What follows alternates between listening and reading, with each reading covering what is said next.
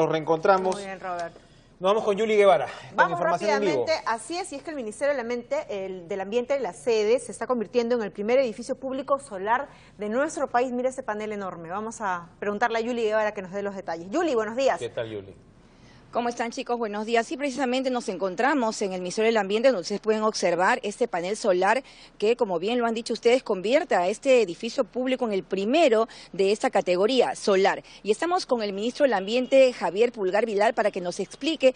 Esto forma parte, digamos, de todos los compromisos asumidos por el Perú también para el ahorro de energía. Ministro, buenos días. Buenos días. Sí, eh, yo creo que este panel solar es el reflejo de una política de Estado y más específicamente del sector ambiente que tiene una política de coeficiencia desde el año 2009 que originalmente esta política era para reducir el uso de agua, electricidad y a su vez eh, residuos sólidos, pero que luego el 2013 ya durante esta gestión le sumamos el hecho de paneles solares en oficinas públicas y para llegar al 2% y después al 5% de oficinas públicas que usan energías renovables y también utilizar mecanismos alternativos para lo que es el uso de vehículos. Entonces lo que tenemos acá son 16 módulos que tienen una característica muy interesante, no usan batería, esa caja que ahora se está tomando en las cámaras es un inversor que lo que hace es que esta corriente va directamente al sistema central y nos permite utilizarla y con eso estamos ahorrando energía, en especial para lo que es el uso de luminarias. Convierten energía solar en energía eléctrica para que pueda seguir funcionando todo. Así es, y a esto sumado, claro, estamos ahora en la parte externa del ministerio donde están estos paneles,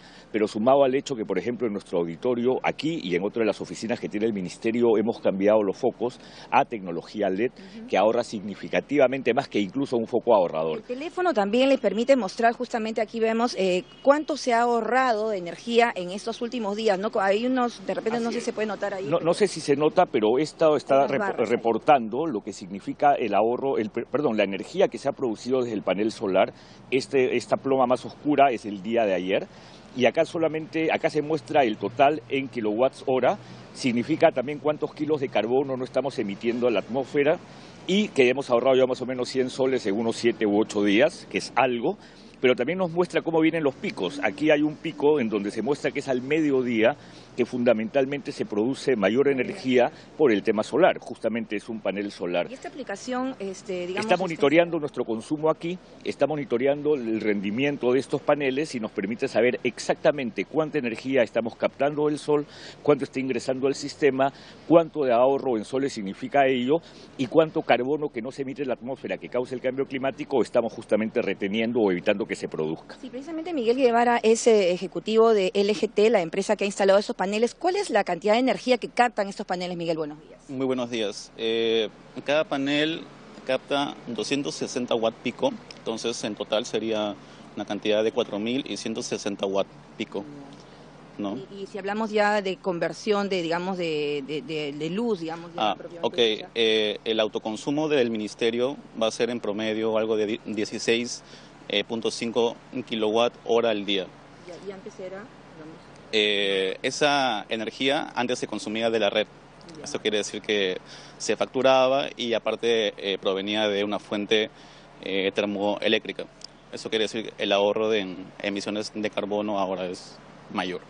La, digamos, eh, la solicitud para instalar estos paneles solares está yendo en aumento, digamos, eh, de acuerdo, digamos, a, los nuevos tiempos o todavía es una cosa que recién está ingresando. Sí, de hecho es un producto ya común, sin embargo eh, los costos de inversión hacen que sea una solución un poco restringida a aplicaciones industriales, no tanto domiciliares. ¿no? Y es, es más, los si- sistemas de conexión a red es algo novedoso, en realidad muy poco. ¿eh?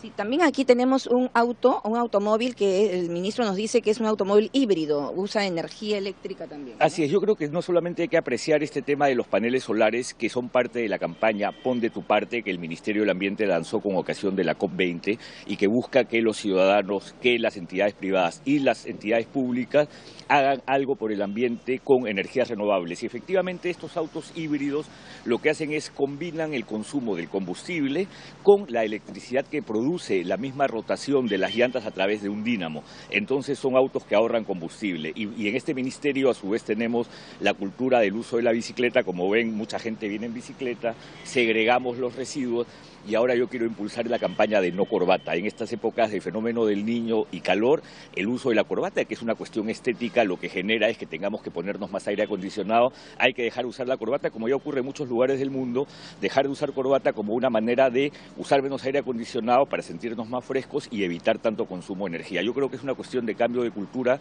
de poner de nuestra parte, pon de tu parte. Es una campaña que el Ministerio del Ambiente sigue impulsando y cada ciudadano puede hacer algo desde su casa, desde su oficina y desde su comportamiento para mejorar nuestra relación con el ambiente. Bueno, muchas gracias. Entonces hemos hablado de todo un poco, pero cosas importantes que tienen que ver con el ahorro de energía, con este tema de las energías renovables que hoy día está de moda en el mundo y que son parte de los compromisos que ha asumido el Perú también en la COP21. Volvemos con ustedes en Muchas gracias, ministro.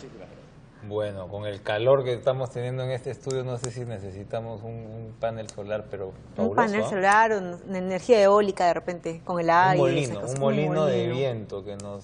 Pero bueno, es las nuevas alternativas, pues, Excelente, ¿no? De excelente. Y yo creo que dentro de unos años todos vamos a tener nuestro panel. De repente, dentro de muy poco tiempo. No, y tomar conciencia sobre el tema de eh, los cambios del 3R, ¿no? Reciclaje, reuso, reutiliza. Muy bien. Sin palabras. Reduce. 8 y 22. Vamos a hacer una pausa.